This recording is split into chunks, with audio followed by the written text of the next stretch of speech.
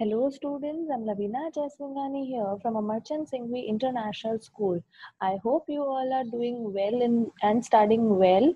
We have completed our first chapter from volume 3. So we'll move to chapter number 3 of volume 3 that is Tools of Financial Statement Analysis, Comparative Statements and Common Size Statements now see this is very simple chapter. If you pay attention it will be very simple for you to understand the basics of this chapter and it will be simpler for you to solve the sums. In this we are going to learn about the introduction of this chapter how it is for what reason it is done the parameters the tools and uh, one of its tool we are going to solve a sum related to that now see, first of all, let us see what is financial analysis.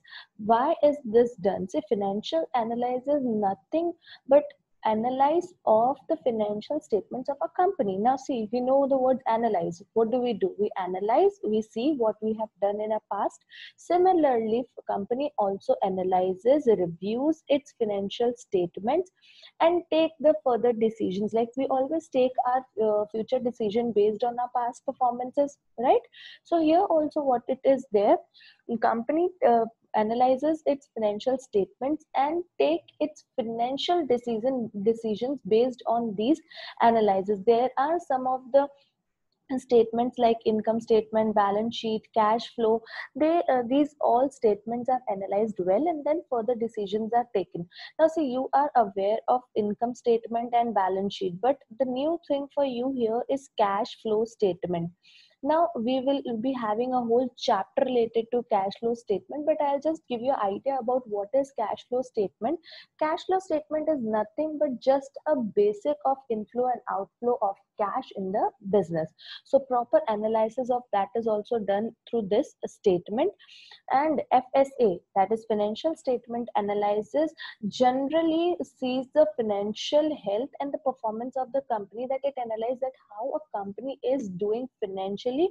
It can uh, be done uh, through various comparisons like the comparison of, of, different companies can also be done comparison of same company of different years can be done. So it takes uh, these analyzes based on these all uh, comparisons and then the decisions are taken further. Now see the decisions or the there are certain prof, uh, parameters for which the company takes like company uh, checks how the profitability is there solvency is there how much liquid the company is how much stability the company is. So what company does company diagnoses all these based on their analyze of financial statements okay? So there are various tools for that. See these are all the tools comparative common size trend ratio fund flow cash flow.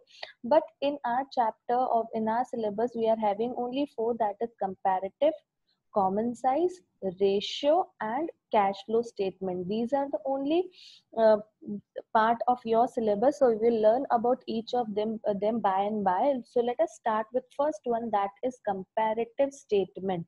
Now see comparative statement is also known as horizontal analysis. Why it is known as horizontal analysis? Because it generally compares the data of a same company of two years or three years or it compares the data of two different companies or three different companies.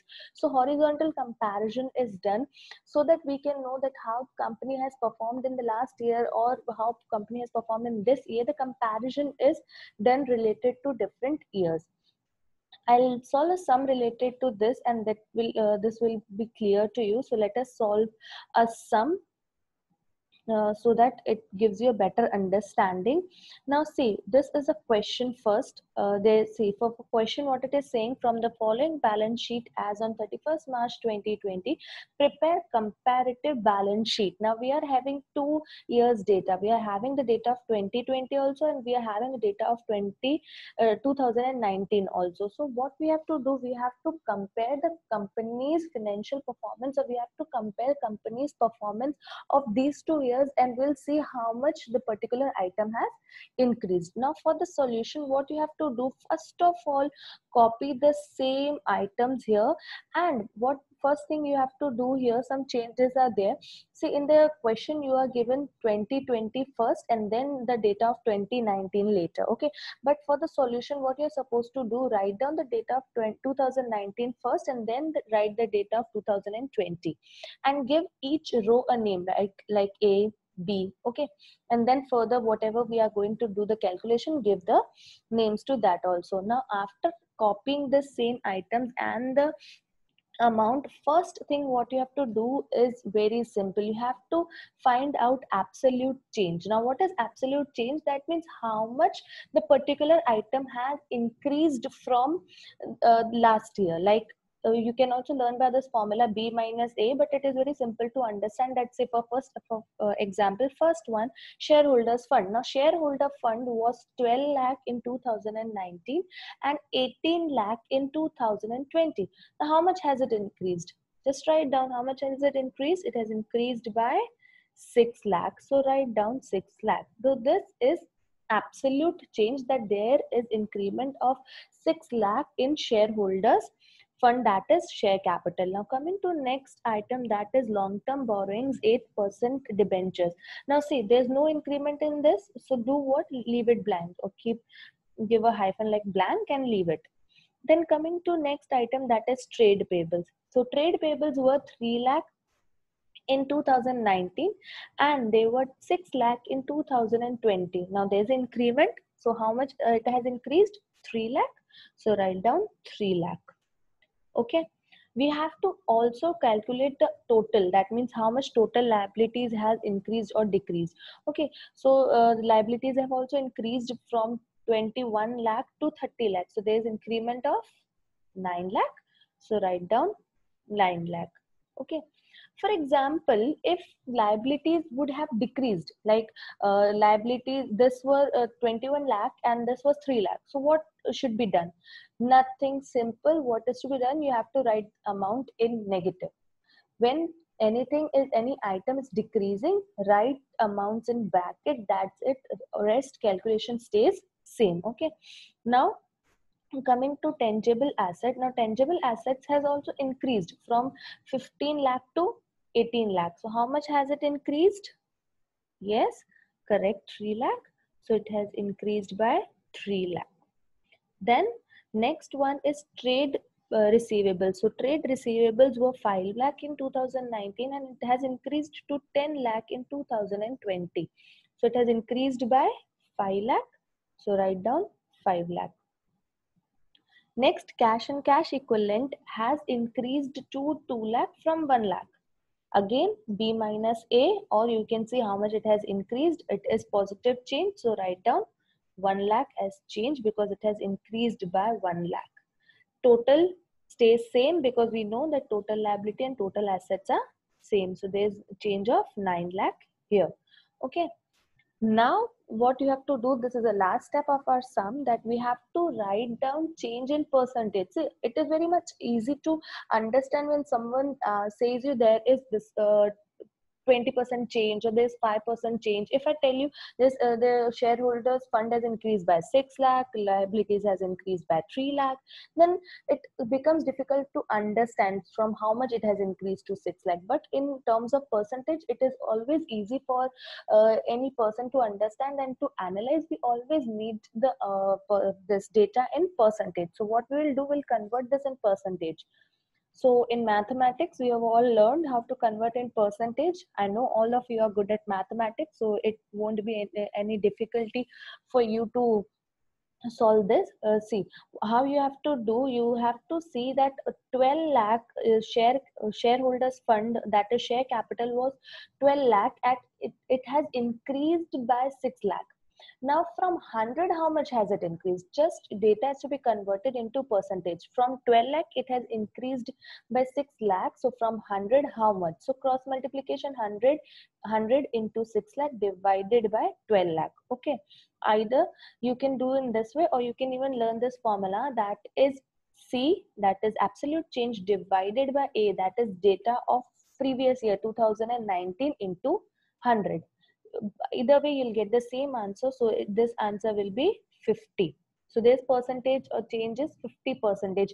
You don't have to write percentage in each and every item because we have already written percentage change here. So it's okay.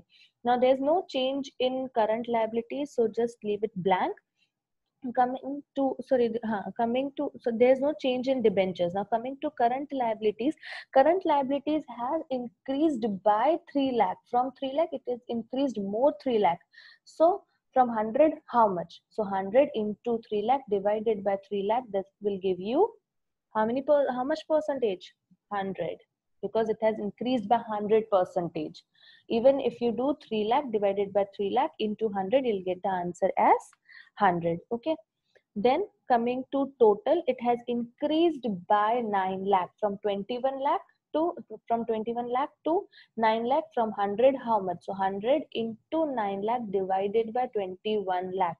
If you do the calculation you'll get answer as 42.86 percentage okay so write it as 42.86 percentage coming to uh, fixed assets that is tangible asset. It has increased by 3 lakh. Okay, from 15 lakh it has increased to 18 lakh. So there's increment of 3 lakh. So from 100 how much? 100 into 3 lakh divided by 15 lakh or use this formula that is 3 lakh divided by 15 lakh into 100 you'll get answer as how much percentage 20 percentage. So there's increment of 20 percentage. Now doing of trade receivables it has increased from 5 lakh to 10 lakh. So there's increment of 5 lakh. Okay. Oh i have done mistake. There's increment of 5 lakh. Okay. So 5 lakh 5 lakh it has increased to 5 lakh. So 500 into 5 lakh divided by 5 lakh will give you 100 percentage as it has increased by 100 percent. Similarly for, for, the calculation of cash and cash equivalent it has increased by 1 lakh okay? So 100 into 1 lakh divided by 100 sorry divided by 1 lakh or use this formula uh, C divided by A into 100 that is 1 lakh divided by 1 lakh into 100 will give you same uh, as 100 percentage. It has increased to and it has increased by 100 percentage. And I already told you that total stays same. The total has increased by 42.86 percentage. Okay it is taking roundup value in excel but uh, when you write in your notebook write it down as 42.86 percentage. So we are through our sum. It is very much simple. What you have to do same copy the same question but just copy the previous year first that is 2019 first and then 2020 find out the absolute change and then convert it into percentage. I hope this video will help you to solve further sum keep learning in this new way. Thank you